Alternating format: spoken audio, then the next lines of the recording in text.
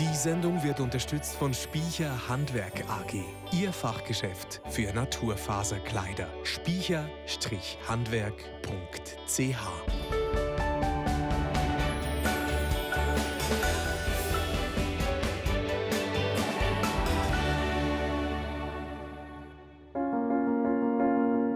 Wenn man Salome so sieht, will man nie denken, dass sie früher mit einer kriminellen Bande um die Häuser gezogen ist, Drogen genommen, Einbrüche gemacht und Depressionen hat. Und nach einem Suizidversuch in der Psyche gelandet ist. Ich bin hier in Herisau im Appenzellerland unterwegs zu der Salome Stutz heim. Sie ist Mutter von fünf Kindern. Es sitzen aber häufig nur ein paar mehr am Tisch. Nämlich dann, wenn der Salome ihre Tageskinder da sind. Salome fühlt sich sichtlich wohl in ihrer Rolle als Mutter und Tagesmutter. Und sie ist auch sonst sehr ein aktiver Mensch. Ich stand jeden Morgen früh auf und gehe mit unseren Hunden laufen. Die frische Luft tut mir einfach gut. Ich gehe auch gerne ins Fitness, bewege mich, baue meine Kräfte auf. Und das ist etwas, was mir sehr hilft in meinem Alltag. Wenn ich zurück bin, mache ich mich für den Tag parat. Die täglichen Abläufe wie Aufstehen, Anlegen, mich schminken, sind für mich mega wichtig.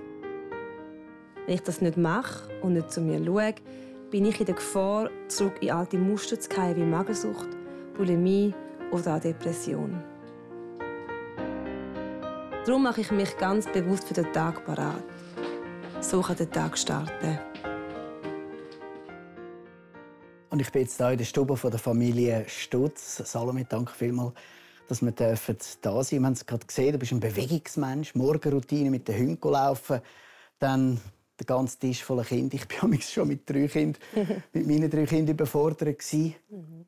Woher die Power für, Kinder? Hm. Ich glaube, ich habe an den Kindern mega Freude. Das ist mega meine Freude. Ich habe es gerne, wenn sie reinkommen und wenn es laut ist. Ich liebe es, wenn es laut ist. Wenn es ruhig ist, ist es fast ein unangenehm. Dann ist irgendetwas nicht gut, oder? Ähm, wenn sie reinkommen und erzählen. Und, aber ich finde das mega schön, weil es haltet mich lebendig. Oder, und es haltet mich so ein bisschen auch ein bisschen fern von mir zu viele Gedanken machen über anderes. Ich beschäftige mich fest mit ihnen. Und das ist auch gut so. Für das bin ich Mami. Und ich habe schon immer viel Kinder wollen, wenn, dann viel, oder? Und sonst kein. Aber so ist es perfekt. Und jetzt schauen wir auf dein Leben. Du bist als Kind aus Israel hier in die Schweiz adoptiert worden. Glückliche Kindheit gehabt. Was sind deine Erinnerungen? Hey, wir haben es auch schön. Ich bin ja Pfarrerstochter. Wir haben ein mega schönes Haus. Und äh, bist einfach also auch wichtig als Pfarrerstochter, hast eine gewisse Rolle und die hat mir Identität gegeben. Das war mega gut. Gewesen. Wir waren auch viel draußen mit meinen Eltern. Wir haben, ich hatte viele Freunde. Gehabt. Ich war sehr beliebt. Gewesen. Und äh, das habe ich auch sehr genossen. Es hat mir sehr gut getan. Und äh, ja, das, äh, waren einfach schöne Momente. Gewesen. Ganz einfache. Go laufen am See. Oder du Federball spielen. Gar nichts Spezielles. Und dann hat es aber einen Knackpunkt gegeben mit Elfi. Ihr seid zügelt. Was genau. ist dann genau. passiert? Hey, wir sind äh, in die Ostschweiz. Das ist ein ziemlicher Bruch vom Aargau in die Ostschweiz. Dialekt, alles hat sich müssen verändern, müssen anpassen. Und ich habe dann zum ersten Mal erlebt, dass ich nicht gut ankomme bei anderen, schon weil ich anders geredet habe als die. Und das hat bei mir sehr, sehr viele Verunsicherungen ausgelöst. Ich musste zuerst gehen, meine Eltern sind später nachgekommen. Ich musste auf Schuljahr schon dort sein und das ist sicher auch nicht ideal Ich bin bei einer Familie, die ich nicht kennt habe, habe dort leben und in die Schule gehen und dort, dort hatte ich einfach sehr viele traurige Momente gehabt, von dem wirklich schönen einbetteten, ich bin daheim, es geht mir gut, ich einfach allein und nicht angenommen und zum Aussenseiter ziemlich schnell geworden. Und nachher ist die Lehrzeit gekommen, die war auch nicht allzu einfach und bist du dann ein bisschen ab der Rolle gefallen? Was ist alles passiert? Ich habe irgendwann erfahren, es gibt einen Namen für das. Und dem sagt man Retraumatisierung. Aber das habe ich noch nicht gewusst. Dort. Ich habe dann einfach gemerkt, das stimmt nicht. Ich bin von einem mega glücklichen Mädchen innerhalb von wirklich sehr kurzer Zeit ein depressives Mädchen geworden, das nicht mehr rausgehen sich selber völlig verloren hat. Ähm, ich habe Essstörungen entwickelt auf allen Ebenen, also zuerst von viel essen bis gar nicht mehr essen und über das Erbrechen. Einfach überall irgendwo noch versucht, mich irgendwo zu spüren, einen Zugang hat zu meiner Seele, die ja eigentlich einfach geschrauen hat, stopp, etwas stimmt nicht. Und ich habe halt keine Begleitung in dem, weil es ist ja für alle völlig unerwartet, dass es mir so geht. Und man hat dort noch nicht so über Traumas geredet, muss ich auch noch sagen. Und ich konnte den Schrei von meiner Seele nur beruhigen, indem ich den Körper reden lassen Und das war mit Selbstverletzung, ähm, mit Essstörungen und mit wirklich absolut zurückziehen. Mhm. Also über die Retraumatisierung reden wir später, aber mhm. kannst du schnell sagen, woher kommt denn das? Also das fehlendes Urvertrauen, mhm. die Entwurzelung von der Adoption oder was ist die Ursache? Genau. Das ist, eben, das ist so etwas, was ich im Verlauf dieser Jahre jetzt herausgefunden habe. Zu diesem Zeitpunkt habe ich es nicht, nicht gewusst und nicht können nachvollziehen. Hätte mir dort, und das ist das, was ich, was ich allen Eltern würde sagen die Kinder adoptieren, Dünnt euch befassen mit den Wurzeln, woher euch Kind kommen. Weil das ist etwas, wo ein Kind mitträgt, egal woher das es kommt. Und einfach ein Kind irgendwo hernehmen, ist das eine, aber das Kind bringt eine ganze Nation mit sich zum Teil. Und die habe ich mitgebracht aus Israel. Das hat einfach niemand so gewusst oder so sich denkt. Und ähm, ja, in dem Inne ist das Urvertrauen, dass ich geliebt bin und gewollt bin, vom ersten Moment, wo es mich gegeben hat, eigentlich schon gebrochen gewesen. Weil das Erste, was passiert ist mit mir, ist, man hat mich weggegeben. Und dann kann man jetzt sagen, ja, es ist dir noch gut gegangen, ist doch alles kein Problem. Und das stimmt, es ist mir gut gegangen. Aber es ist etwas zerbrochen in mir inne, wo man nicht hat einfach können wieder gut machen mit einem schönen Leben. Aber das ist ja unbewusst, weil als Total. Baby hast du keine Erinnerungen Keine Ahnung, genau. wie, wie, funktioniert denn das, wenn das wieder hochkommt? Das ist eben dann die Retraumatisierung. Es wird etwas triggert. Also es kann sein, dass Leute Traumas erlebt haben als Kind und die kommen nie zum Vorschein, weil es niemand triggert wird. Oder du bist ausgelacht, bist allein und kannst es wie abhökeln. Und bei mir ist es jetzt halt mit dem Umzug wieder gekommen. Ich werde entwurzelt, ich werde rausgerissen aus meinem Umfeld, wo ich eigentlich hingehöre. Und in dem Moment hat etwas in mir angefangen, sich aufzubäumen. So, nein, nicht schon wieder nicht schon wieder allein sein. Weil ich bin ja gleich eine gewisse Zeit nicht irgendwo gewesen. Ich bin dann über dem, als Baby, oder? Ich bin dann nicht bei einer Familie gewesen, ich bin allein gewesen. Und das ist ähm, ja fatal, dass das wieder hat passieren mit dem Umzug. Du hast gesagt, um dich zu spüren, hast du müssen dich selber verletzen. Ja.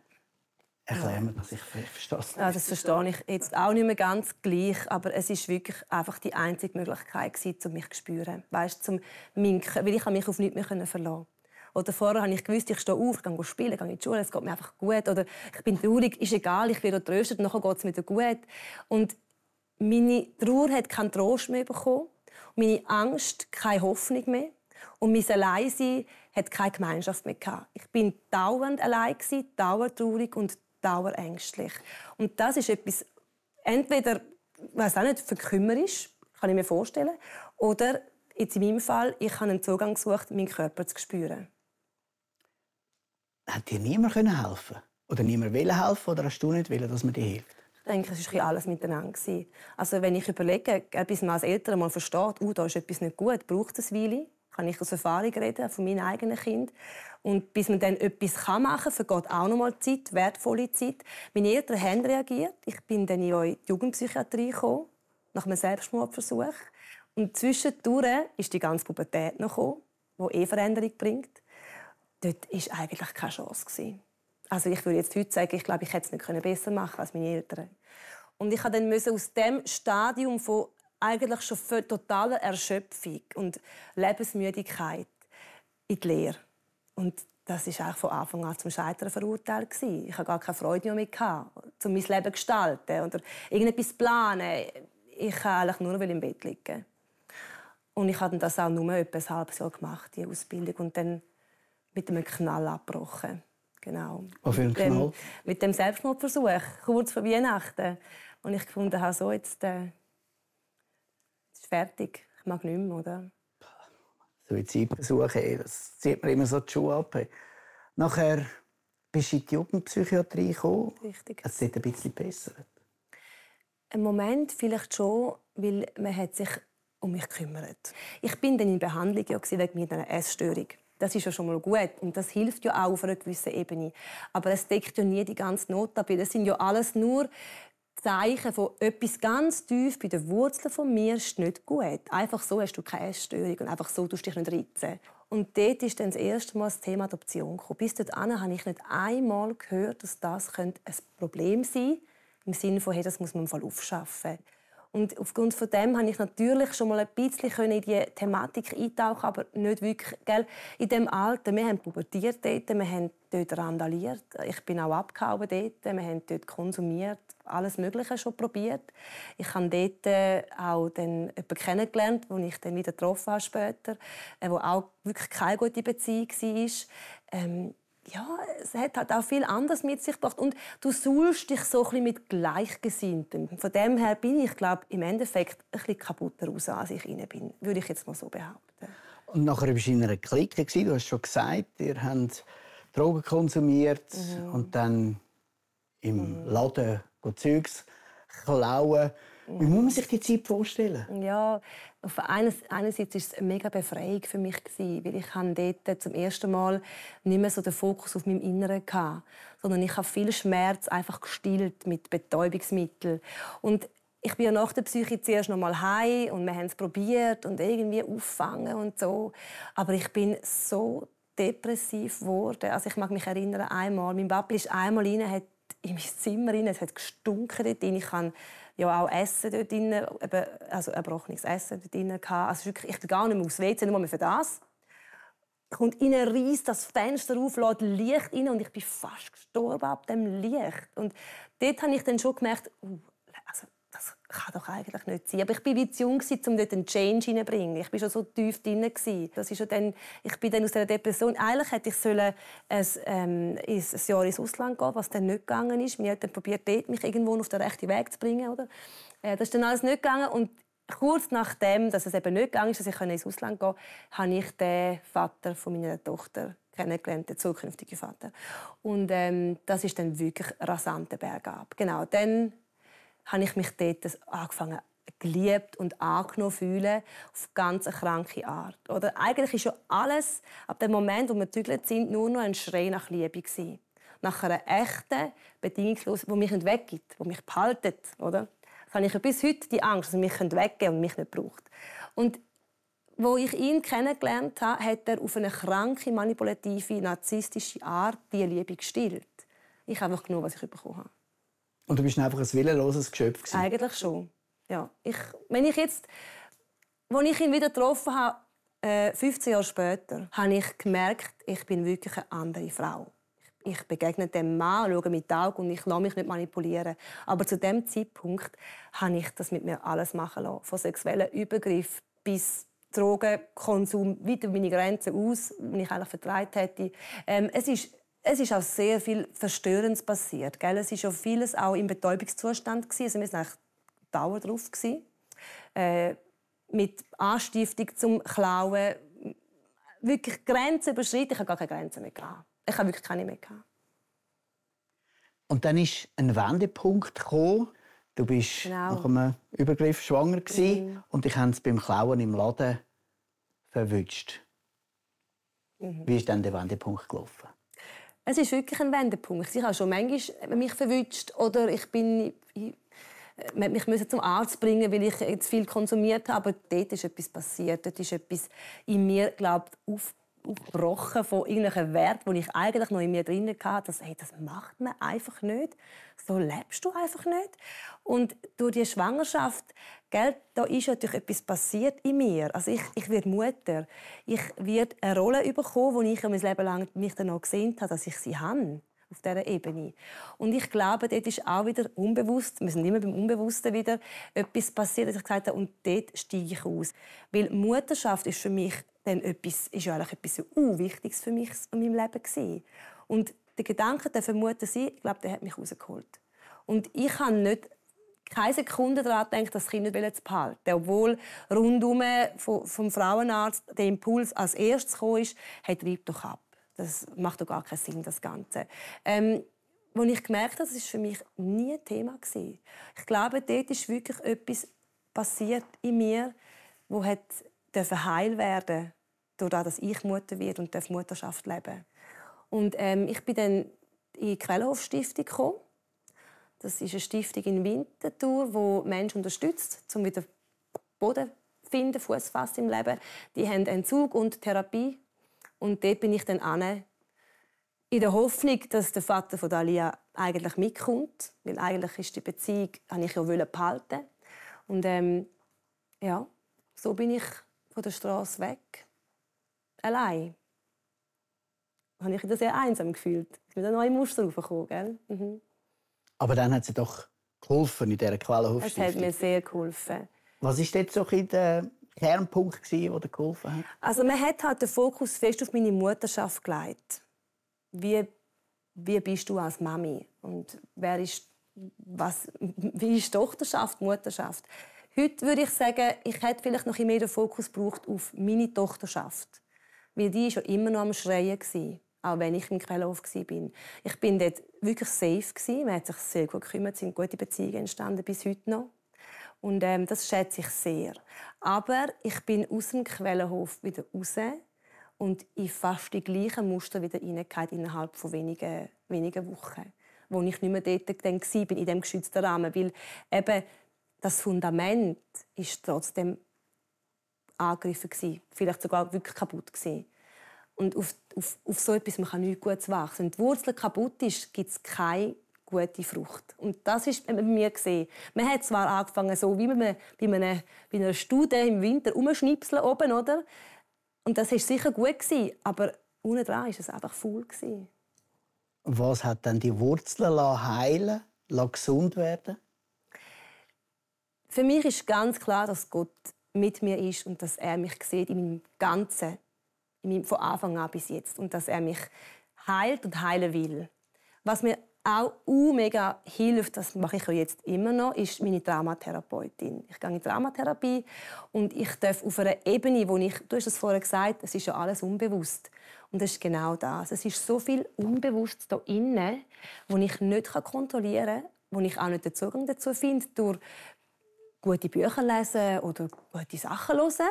Das kommt gar nicht an, weil es ist so eine Blockade zwischen mir und meiner Vergangenheit die muss zuerst gelöst werden. Und das, da bin ich jetzt dran und es ist schon erstaunlich viel für ich nie erwartet hätte.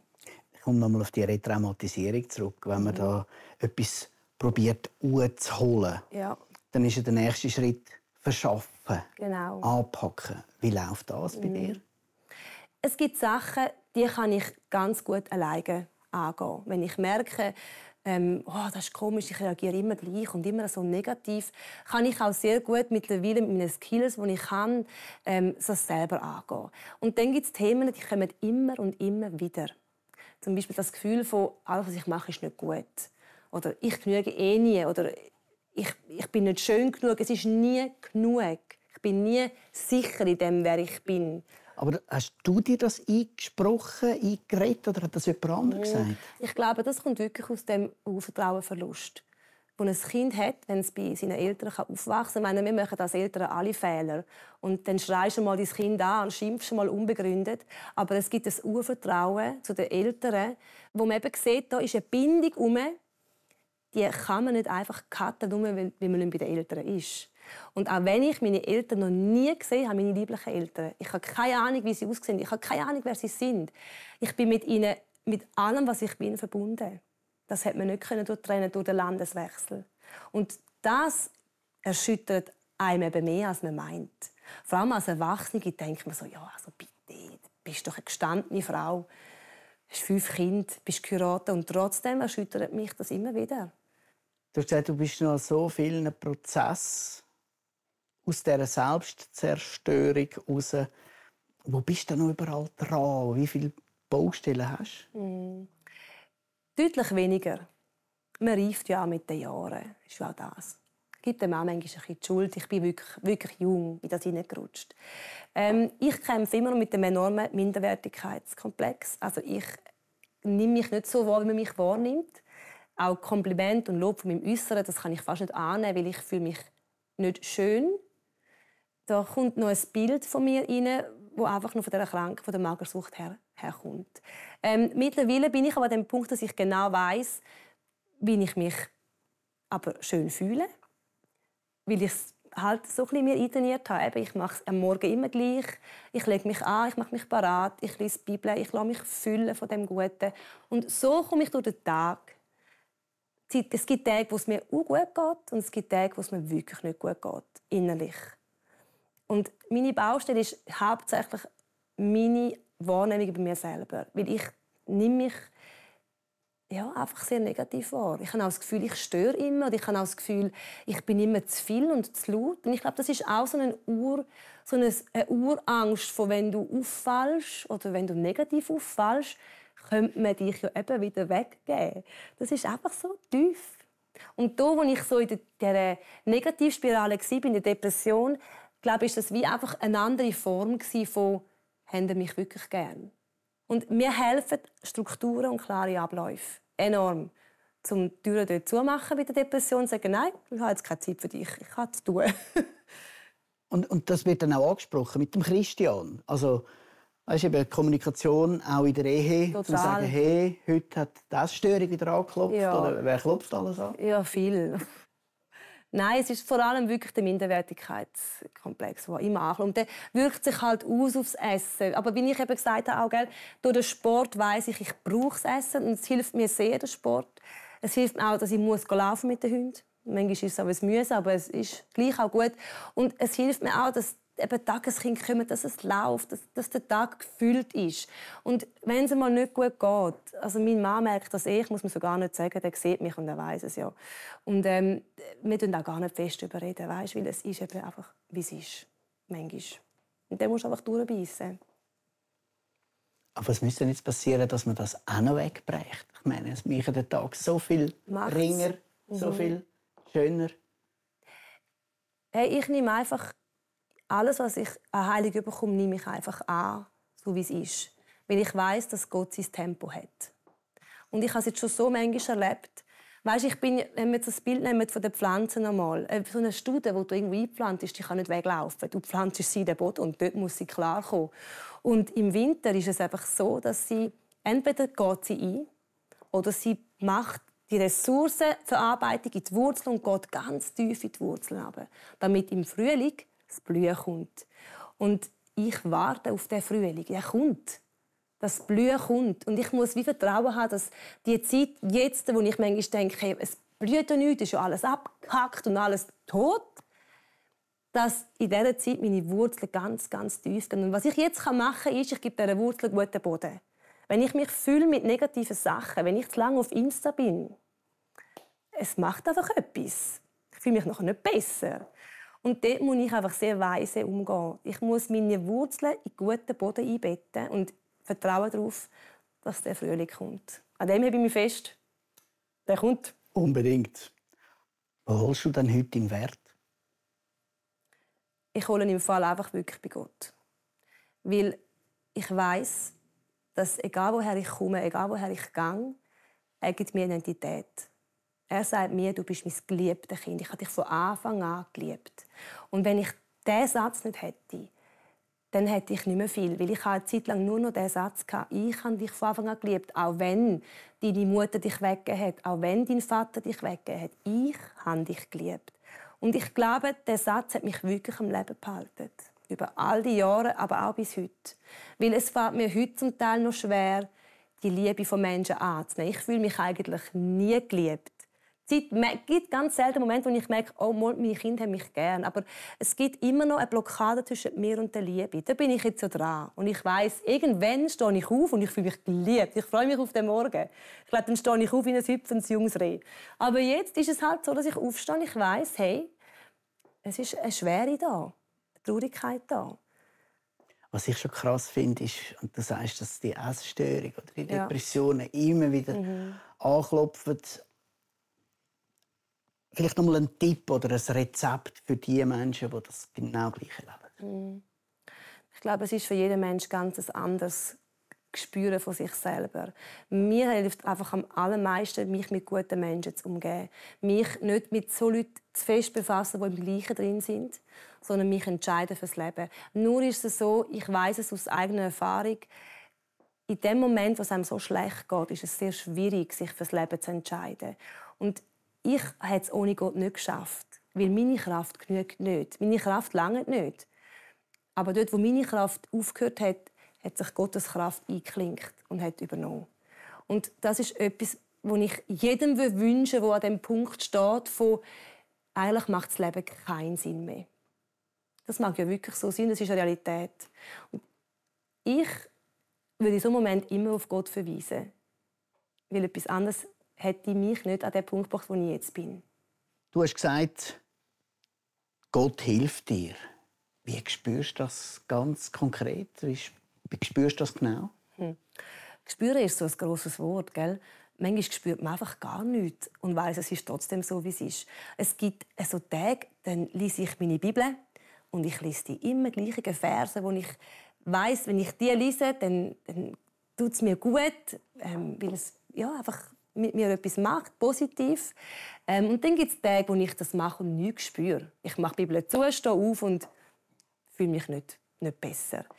Aber ich weiß, es ist trotzdem wahr. Es ist Wahrheit, die ich über mein Leben ausspreche, wo ich mich ganz bewusst in die Wahrheit hineinstelle, wie so eine Dusche und sage, diese Gedanken bestimmen meinen Tag. Wenn ich zuerst das Handy für nehme und zuerst auf Insta gehe und mich da durchscrolle, dann bestimmt Minderwert meinen Tag, weil ich bin ja immer schlechter als die Supermütter auf Insta. Und so entscheide ich mich, dass ich auf Gottes Stimme hören Und manchmal fühle ich eben wirklich nichts. Und dann fühle ich wieder mega viel Geborgenheit und mega viel Sicherheit. Und du hast eine wunderbare Familie. Ja, total. Mit dem Christian zusammen, ja. wunderbare Familie. Wie, ja. wie wichtig ist dir das? Zeitlang war es eben so, dass auch das Kampf war, weil ich keine Liebe mehr empfunden habe, für mich und für meine Mitmenschen. Liebe die Nächsten wie dich selber. Oh, ich liebe mich nicht. Oh, ich stehe schon an, oder? Ähm, habe ich eben auch das als sehr schwer empfunden, meine Familie zu lieben und, und zu ehren. Aber das, das ist zum Glück wirklich etwas, wo, wo, wo wirklich geheilt ist wo vorbei ist, wo ich durchgegangen bin. Der Prozess ist für mich dort abgeschlossen. Ich habe Freude an meinen Kindern. Unsere Ehe ist umkämpft und wir sind immer dran, uns zusammen zu raufen und zusammen zu bleiben. Aber auch das ist einfach eine Entscheidung, zu vertrauen darauf, dass der Frühling kommt. Und in dem Moment müssen wir wie sagen, wir sind da, wo wir sind, in dem Zuhause, mit diesen fünf Kindern. Wir können nicht weg, oder die Studien, wir können nicht weg, wir bleiben da, wir wachsen jetzt einfach in die Tiefe. Und so halten wir uns einfach an dem fest. Also was ich jetzt in eurer, was ich jetzt in eurer Familie gesehen habe, ist schon recht viel Frühling da. Ja, das ist aber schön. Danke. Salome, danke vielmals für die Offenheit, dass du uns so in dein Leben hast anschauen Alles Gute für dich, für deine Familie. Danke vielmals. Wenn Sie noch Anregungen oder Fragen haben zu der Sendung, dann schreiben Sie uns. Wir freuen uns auf Ihr Feedback. Danke fürs Interesse. Bitte schauen.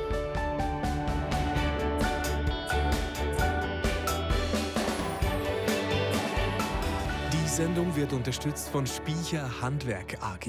Ihr Fachgeschäft für Naturfaserkleider. Spiecher-handwerk.ch